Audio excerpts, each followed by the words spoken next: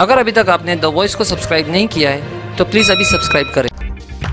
अब घर बैठे अपनी कार को शानदार लुक देने का तरीका हुआ और भी आसान, क्योंकि Captain Car Accessories Banjarpatti Naka Bhiwandi आपको दे रहे हैं free home pickup and drop service music system या विंडो कवर या सीट कवर या अन्य कार एक्सेसरीज के ज़रिए अपनी कार को मॉडिफाई करवाने के लिए नीचे दिए हुए नंबर पर संपर्क करें।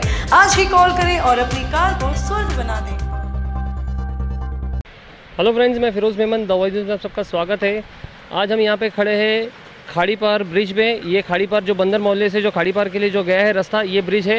और हम यहाँ पे आज आपको बताएँगे कि जो शहर में पानी भर रहा है, पिछले कई दिनों से मतलब जब भी बारिश होती है तो शहर में गलियों में, गटरों में जो पानी भर के, जो रोड पे आ जा रहा है, जो सड़कों पे आ जा रहा है पानी तो उसकी असल वजह क्या है? उसकी खास वजह क्या है? तो जैसे ही हम यहाँ पे आए, आज हमको सुबह में पता चला कि ये जो खाड़ी है, आप देख सकते हो मेरे पीछे यहाँ पे जो खाड़ी है तो इसका जो एक साइड का पूरा हिस्सा जो है, ये पूरा झाड़ियों से भर चुका है और इसका जो कचरा है, ये यहाँ पे जाम होने की वजह से आपको मैं बता दूँ, थोड़ा सा आ गया बेटा।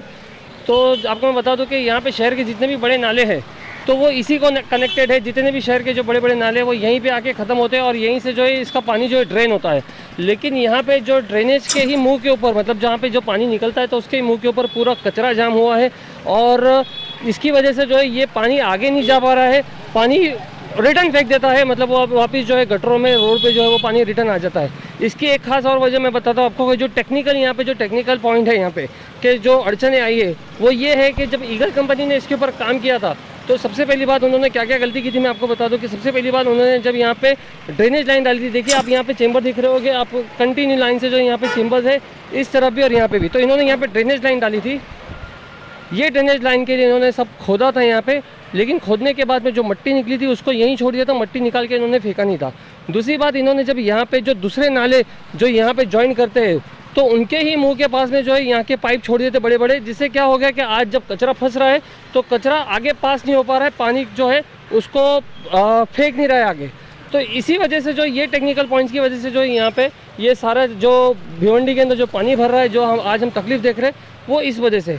तीसरी एक बात ये है कि ये जो सारा काम है, ये जो साफ़ सफ़ाई का और ये जो यहाँ पे कामवारी नदी का जो साफ़ सफ़ाई का जो काम है, वो कॉरपोरेशन के अंडर में नहीं आता, वो तहसील के अंडर में आता है, प्रांत के अंदर में आता है। मतलब यहाँ पे ये जो काम है, ये स्टेट गवर्नमेंट करेगी कॉरपोरेशन नहीं करेगी। मतलब ये इस तरह का प्रावधान है।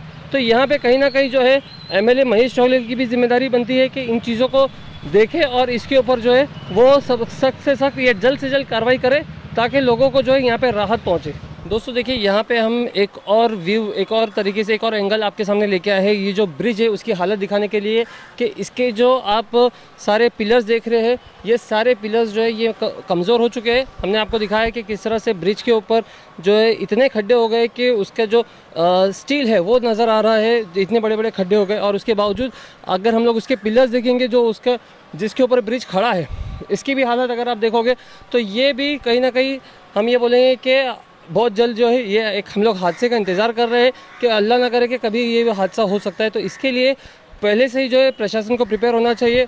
और जो हम लोग ड्रेनेज लाइन की बात कर रहे थे, देखिए यहाँ पे जो एक लाइन से जो यहाँ पे गए हैं, आपको दिख रहे होंगे चेंबर तो ये चैम्बर जो है, ये वही चैम्बर है जो ईगल कंपनी ने पिछले दो दो साल पहले बनाए थे। और ऐसे ही उसकी मट्टी जो है, ऐसे उसकी मट्टी जो है वहीं पर छोड़ दिया था। उसको खोदने के बाद में जो है उसको मट्टी निकाल के जो फेंकना चाहिए, वो सारी चीज़ें, वो सारा काम नहीं हुआ था, इसके लिए आज इसकी ये हालत है। आप देख सकते हैं कि सामने जो खाड़ी पार से, जो अपना अजय नगर से जो खाड़ी पार का जो रास्ता है, वो जो ब्रिज है, वो भी इस तरह से है कि बस ऐसे ही पड़ा हुआ है, वहाँ पे कुछ काम नज़र नहीं होता होता नज़र नहीं आ रहा है, ऐसे ही लावारिस पड़ा हुआ है। तो देखो दोस्तों कि ये हाल है आज इस कामवारी नदी का कि ये पूरी पैक हो चुकी है। साफ़ नज़र आ रहा है कि किस तरह से यहाँ पे पूरा जो एक तरीके की झाड़ी बन बन गई है। यहाँ पे आदमी चल के भी जा सकते हैं और ये सबसे बड़ा जो है प्रशासन का फेलियर हमें नज़र आ रहा है क्योंकि इसको टाइम चलते जो है इसको साफ़ कर देना चाहिए था, लेकिन वो नहीं हुआ। और अभी भी जो है बहुत ज़्यादा देर नहीं हुई। अभी भी अगर प्रशासन इसके ऊपर काम करना चाहे तो एक अच्छा काम हो सकता है। और भिवंडी का जो ड्रेनेज सिस्टम है तो समझ लो यहीं पे आके जो है, ये सारी चीज़ें ड्रेन होती है, लेकिन इनके सारे मुँह पैक होने की वजह से जो है, ये ड्रेनेज जो है काम नहीं कर रहा और पूरा शहर जो है वो पानी पानी हो चुका है। और मैं आपको एक बात खास बताना चाहूँगा कि यहाँ पे कई सालों से जो है इसकी सफ़ाई नहीं हुई, ये जो खाड़ी, ये जो नदी है, इसकी सफ़ाई नहीं हुई।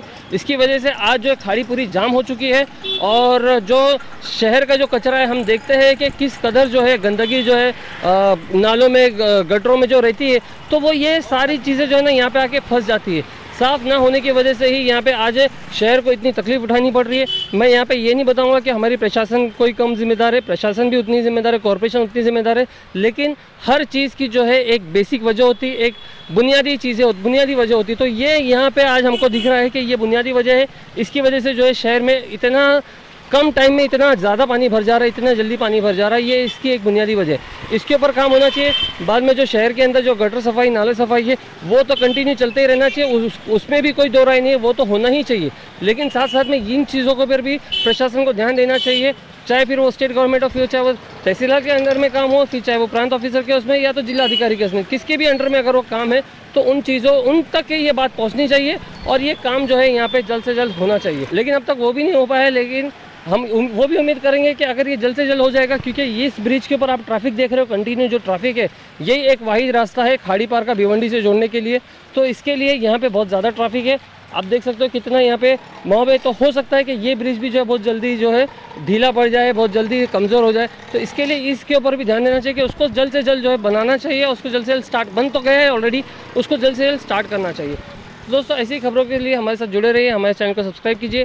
मैं Feroz Memon the Voice News से थैंक यू।